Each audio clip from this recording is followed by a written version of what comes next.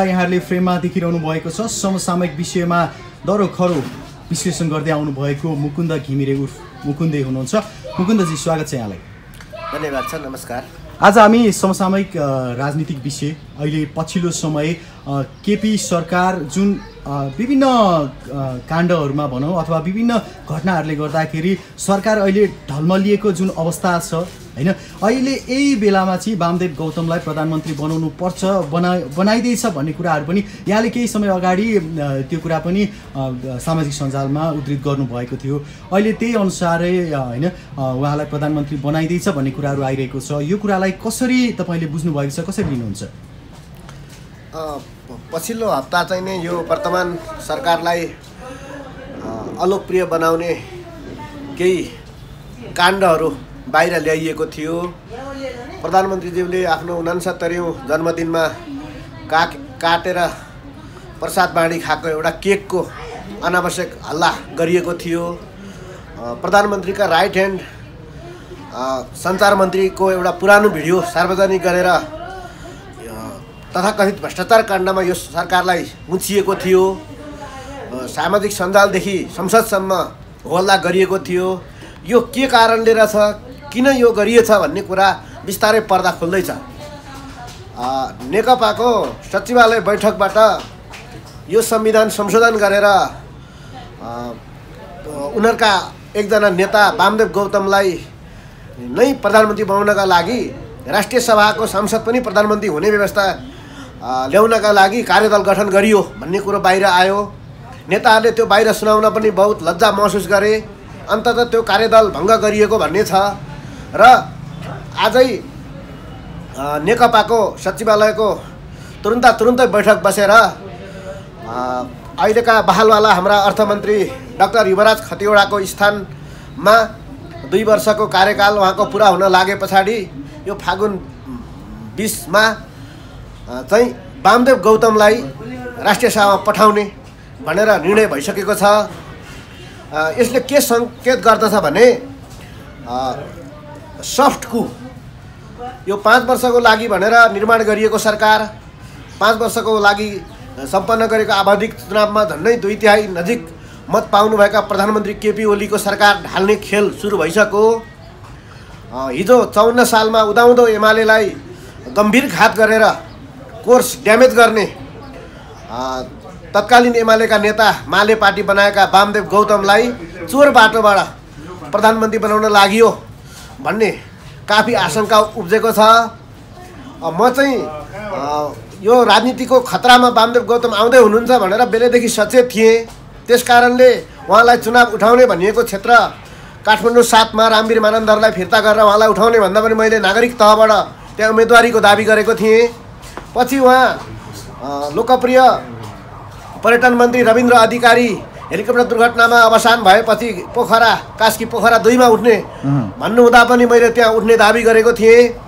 त्यसभन्दा पछाडि के अरे कृष्णबहादुर महरा पूर्व सभामुखलाई राजीनामा संसदबाट सभामुखबाट राजीनामा गरियो। संसदबाट पनि राजीनामा गराएर दाङबाट उहाँ उठ्ने खतरा पनि देखेर मैले त्यहाँ पनि तयार छु चुनौती दिनलाई भनेको थिएँ।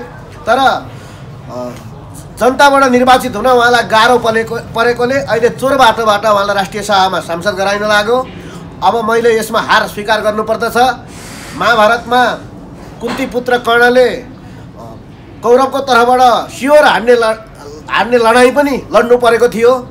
लड्दै नलडी उहाँले हार स्वीकार गर्नुभएको थियो। ठिक त्यस्तै म पनि वामदेव गौतमसँग चुनाव लड्ने भन्ने मेरो रहर मेरो योजना अधुरै रह्यो मैले हार स्वीकार गर्नु पर्यो।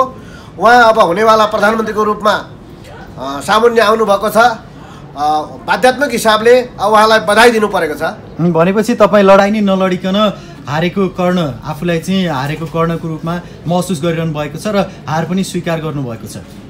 अँ जनस्तरबाट पनि चुनाव उठ्न पाउने व्यवस्था त थियो तर चुनावको बाटोबाट जाँदा वामदेव गौतम ठुलो विवादमा पर्ने इतिहासमा पार्टीलाई ठुलो घात गरेको पार्टीले सोची विचारिकन पछिल्लो चौहत्तर सालको चुनावमा बर्दियाबाट उहाँहरूले अन्तर्घात भन्नुहुन्छ। छेकेको चुनाव हराएको मान्छे फेरि जनस्तरमा जाँदा ठुलो विवादमा पर्ने भएकोले उहाँ सुविधाको बाटो सजिलो बाटो राष्ट्रिय सभाबाट आएर प्रधानमन्त्री खाने खतरा देखियो। हामीले जनस्तरबाट प्रयोग गर्न पाउने अधिकार स्थगित गर्नु पर्यो र उहाँलाई चाहिँ अब सहनुपर्छ तर वामदेव गौतमको कुरा गर्नुपर्दा उहाँ पक्कै पनि नेपालको राजनीतिमा वरिष्ठ नेता हो। यी प्रचण्ड बाबुरामहरू प्रधानमन्त्री भइसके चौन्न सालमा उहाँले देशको सबैभन्दा ठुलो पार्टी नेकपा एमाले फुटाउँदै गर्दा बाबुराम प्रचण्ड भनेको भर्खर कागजपत्र बनाएर पढाइ लेखाइ सिद्ध्याएर जागिर खोज्दै गर्ने अवस्थामा थियो होलान्। बाबुराम प्रधानमन्त्री भए प्रचण्ड प्रधानमन्त्री भए जागिर गर्दै गरेका खिलराज रेग्मी प्रधान न्यायाधीश पनि मन्त्री परिषदको अध्यक्ष हुनुभयो। सिनियर भइकन पनि अहिलेसम्म प्रधानमन्त्री नखाएका वामदेव गौतम चाहिँ लगभग आठौँ आश्चर्यको रूपमा हुनुहुन्थ्यो। तर उहाँ अब यसरी आइलाग्नु भएको छ कि उहाँलाई अब कसैले रोक्न सकिँदैन। उहाँसँग चाहिँ सबै नतमस्तक हुनुपर्ने अवस्था भयो। सबैले हार स्वीकार गर्नुपर्ने अवस्था भयो। चोर बाटो नै अप्नाउनु पर्ने यो अवस्था कसरी सिर्जना भयो त? चोर बाटो तपाईँले अघि भन्नुभयो होइन राष्ट्रिय सभाको जुन चोर बाटोबाट उहाँलाई चाहिँ प्रधानमन्त्री बनाइदिएछ। यो चोर बाटो भन्ने कुरा चाहिँ कसरी आयो त? अहिलेको संविधानले दुई हजार बहत्तर सालमा जनताको रगतले आर्जेर बनाएको लेखिएको संविधानमा प्रतिनिधि सभाको बहुमत प्राप्त व्यक्ति मात्रै प्रधानमन्त्री हुन्छ भन्ने व्यवस्था गरिएको थियो। तर अहिले यसलाई संशोधन गरेर एक हिसाबले मजाले संविधान कार्यान्वयन नभइकन संविधान च्यातेर उहाँलाई राष्ट्रिय सभाको बाटोबाट प्रधानमन्त्री बनाउन लागि छ। मूल दैलाबाट उहाँलाई पञ्चकन्याले कलश थापेर अ, बालुवाटारमा सिंहदरबारमा स्वागत गर्नुपर्नेमा उहाँ अहिले जस्केलाबाट झ्यालबाट छिर्न लाग्नुभएको छ। यो कसरी भयो भने उहाँले चौन्न सालमा एमाले पार्टी फुटाउनु भयो। एमाले पार्टी यदि नफुटाएको भए छप्पन्नै सालमा मदन भण्डारीको रगत बगेको एमाले मनमोहन अधिकारीको दारी फुलेको एमाले बहुमत ल्याउँथ्यो सुविधाजनक बहुमत। त्यति नै बेला महासचिव त्यति बेलाका के अरे माधव नेपाल प्रधानमन्त्री हुनुहुन्थ्यो। पाँच वर्ष पछाडि सिनियर नेता झलनाथ खनाल केपी ओली प्रधानमन्त्री हुनुहुन्थ्यो र वामदेव गौतम पनि साधारण काम गर्दै जाँदा पार्टी हार्थेन प्रधानमन्त्री बन्नुहुन्थ्यो। तर उहाँले कामुन्जेल भाँडो एमाले काम सकेपछि ठाडो फुटाइदिनु भयो र उहाँ चाहिँ प्रधानमन्त्री हुन अर्को चौन्न सालदेखि यता चाहिँ बिस बाइस वर्ष पर्खिनु परेको छ। र त्यति बेला उहाँ एमाले फुटाएर राप्रपा चन्द समूहमा गएर उप प्रधानमन्त्री खानुभएको थियो। राप्रपाबाट प्रधानमन्त्री बन्नुपर्ने मान्छे अहिले कमरेड हुनुभएको छ एमालेमा बस्नुभएको छ। एउटा चाहिँ नि बहुमत प्रधानमन्त्री ओलीसँग छ शक्ति वामदेव गौतमसँग छ। मालेका माली गाईहरूको बथान छ तर एउटा बलियो भैँसी आएर माली गाईको बगाला मिसिएको छ। यहाँ बहुमतको कदर नहुने अवस्था र बलको चाहिँ नि जित हुने अवस्था आयो। अब वामदेव गौतम आफ्नो पार्टी एमाले फुटाएर बिस वर्ष ढिलो भए पनि कतै न कतै ट्याक्टिस षड्यन्त्र मिलाएर जस्केलाबाट मूलदैलालाई छलेर झ्यालबाट र मूल बाटो छोडेर चोर बाटोबाट उहाँ प्रधानमन्त्री हुन आइपुग्नु भएको छ। जस्तो एउटा व्यक्तिलाई होइन प्रधानमन्त्री बनाउन यो संविधानै संशोधन गर्नु यो कतिसम्म जायज छ न्याय सङ्गत छ त?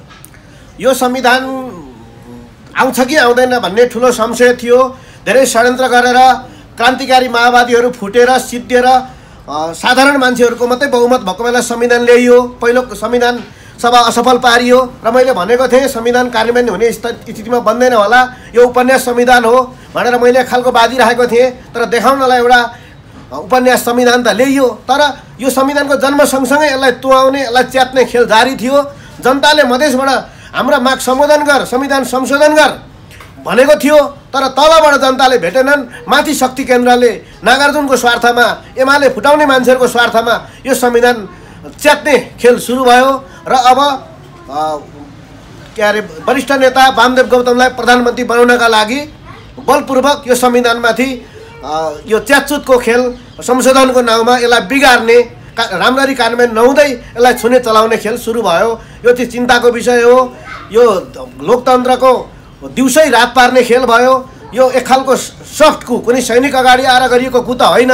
तर विधि विधान मिलाएरै बहुमत पुर्याएरै नेकपाको बहुमत नपुग्दा प्रतिपक्षी काङ्ग्रेसले पनि भित्रभित्रै सहयोग गर्ने होला। यो संविधानमाथि यो चलखेल सुरु भइसकेको छ। जस्तो अर्को कुरा होइन सचिवालय सचिवालयको बैठकमा चाहिँ प्रधानमन्त्री ओली र गौतमको वाद विवाद परेको भन्ने कुरा पनि आएको छ नि त। त्यो आयो त्यो राजनीतिमा रमाइलोको लागि प्रचार गरिएको हुनुपर्छ। शक्ति केन्द्रसँग नमिल्दा प्रधानमन्त्री ओलीलाई ठाउँ ठाउँबाट हराइएको थियो। दुईतिरबाट माधव नेपाललाई हराएको थियो तर तिम्रा पोल खोलिदिन्छु भनेपछि सुशील चन्द्र अमात्यलाई फिर्ता गरेर श्रीलङ्काको राजदूत बनाएर त्यो ठाउँमा मनोनित गरिकन माधव नेपाललाई त्यति बेला प्रधानमन्त्री बनाइयो। त पछि सेटिङ मिलेपछि प्रधानमन्त्री ओलीलाई हिरो हाइलाइट बनाएर ल्याइयो। हिजो प्रधानमन्त्री ओली के अरे दुई तिहाई बहुमत दिने बेलामा उहाँलाई मौरीको रानु जस्तो बनाइयो।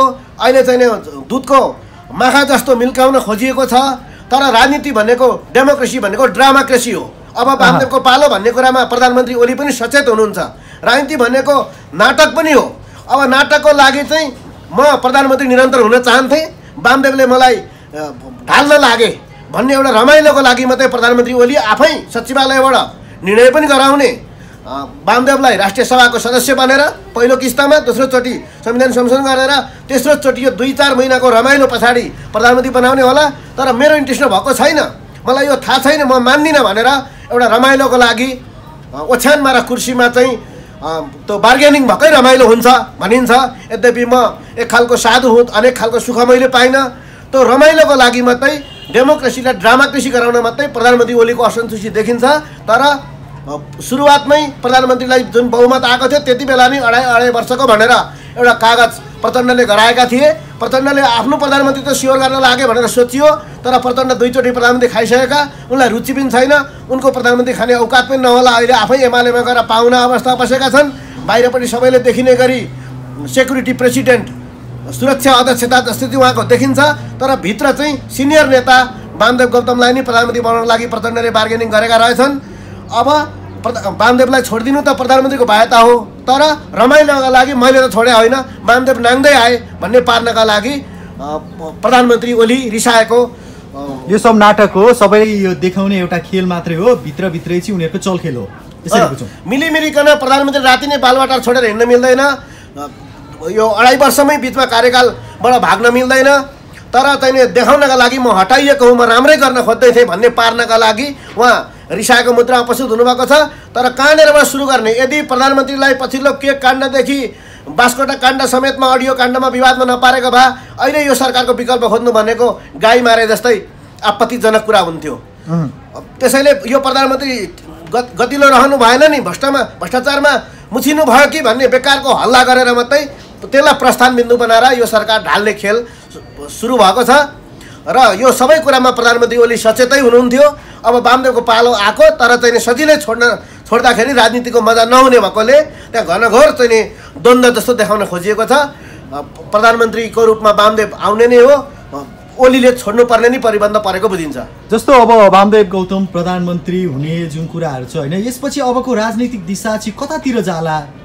के भन्नुहुन्छ यसमा? राजनीति नकारात्मक दिशामा जान थाल्यो बल्डेन खान थाल्यो बुमरेङ हुन थाल्यो काङ्ग्रेस फुटाउने शेरबहादुर देउवा चारचोटिसँग प्रधानमन्त्री भएका थिए त्यत्तिकै कुकरमा गरेका वामदेव गौतमलाई एमाले उदाउँदै एमाले फुटाएर काङ्ग्रेसतिर बहुमत लग्देको गुण बल्ल तिर्न थालियो। अब उहाँ प्रधानमन्त्री हुनुहुन्छ। उहाँ चाहिँ नि हिजो सङ्कटकालहरूमा पनि के अरे राजाको हातको टिको लाउन जाने मान्छे हो। राजा ज्ञानेन्द्र पनि अहिले इन्डियामा ट्रम्पको भ्रमण भएको अवसरमा बाटो ढुकेर पनि दर्शनभेट गर्नुभयो भन्ने हल्ला भएको छ। उताबाट अ, के अरे बाख्राको पाठो आउनु यताबाट स्याल छट्टु स्याल झम्टेर त्यहाँ पुग्नु यो संयोग काकताली मात्रै होइन। राजा ज्ञानेन्द्रले अब उनलाई कुनै कारवाही पनि भएन गणतन्त्र त भनियो उनको आवाजातमा रोक पनि लगाइएन प्रतिबन्ध पनि लगाइएन गणतन्त्र विधि पुर्याएर आएको थिएन जनमश्रमण सधैँको लागि आएको थिएन। यो नकारात्मक दिशामा गयो अब जनतालाई गणतन्त्रको एक खालको रहर पुगेको जस्तो पनि पारियो। भनेपछि राजतन्त्र फर्किने एउटा सङ्केत पनि यसले देखाएको छ।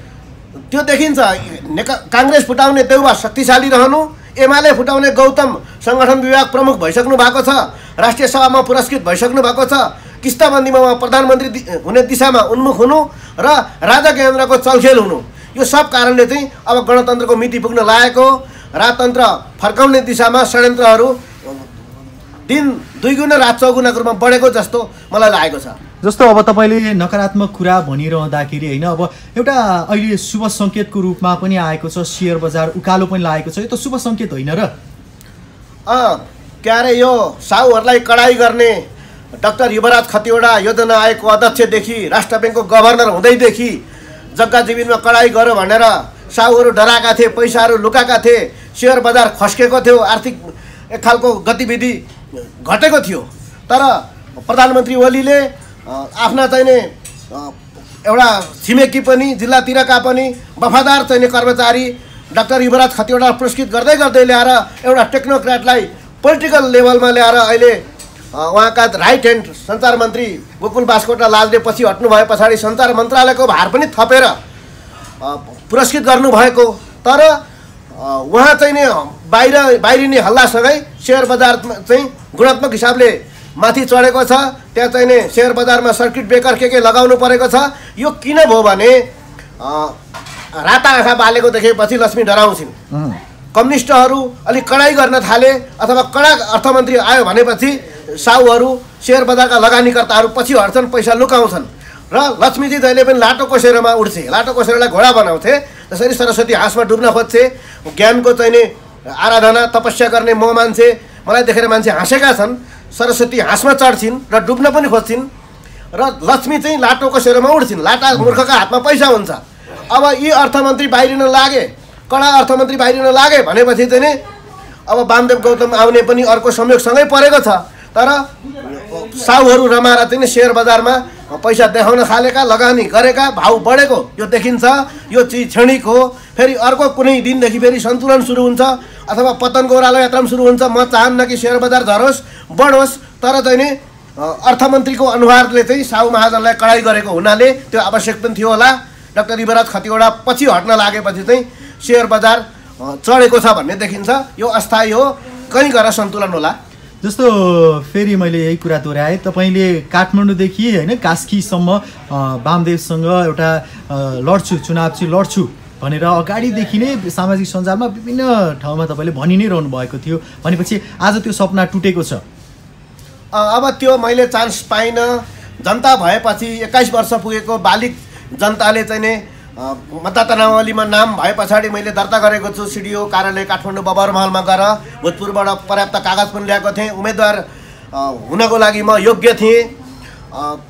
चुनाव भएको भए म उहाँसँग भिड थिएँ। जनताले कही हातमा निर्णय गर्ने छ भने वामदेव कि मुकुन्दे? अब टेस्टेड एन्ड फेल्ड वामदेव गौतमको ठाउँमा नयाँ चाहिँ भर्जिन एजेन्डा मुकुन्दलेनसम्म भएको एउटा नौजवान उम्मेदवार मलाई किन नजिताउने भनेर म यक्ष प्रश्न उठाउने थिएँ।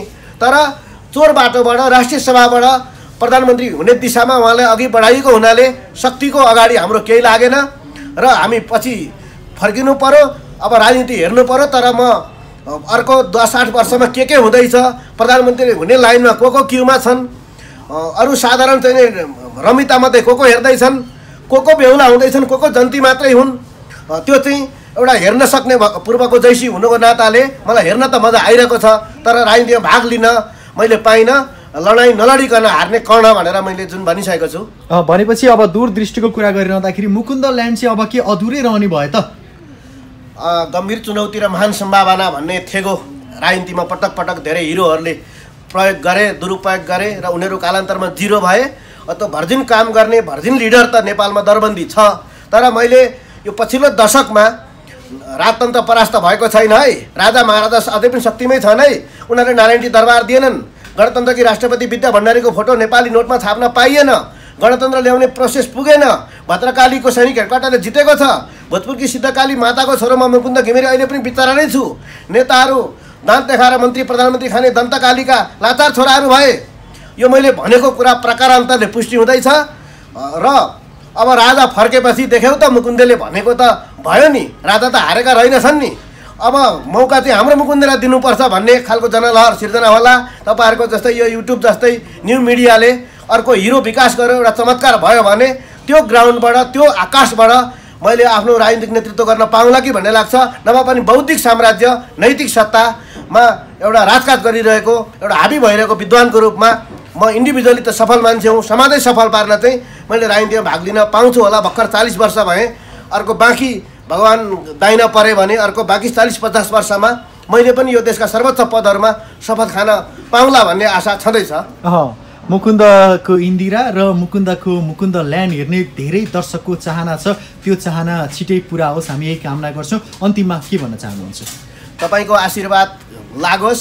बिस्तारै चाहिँ नि अब त्यो परिपूर्ति होला कस्ता कस्ताले त बिहा गरे सतसट्ठी वर्षका बुढा राई लिम्बूले पनि कलिला युवतीहरू बिहा गरेका छन्। एउटा के अरे सुन्दरी जलको मुहान फोहोर पार्ने गन्दे जोगीले पनि अमेरिकादेखि राम्री महिला बोलाएर चाहिँ नि बेबिचार हो कि बिहे गरेको देखियो। भने सबैको आशीर्वादले खुट्टा हुनेले जुत्ता पाउँछ सिन्दुर हुनेले सिन्दुर पाउला हाम्रो जोडी जम्ला। राजनीतिमा पनि मैले भाग लिन पाउँला। तपाईँको आशीर्वाद लागोस्।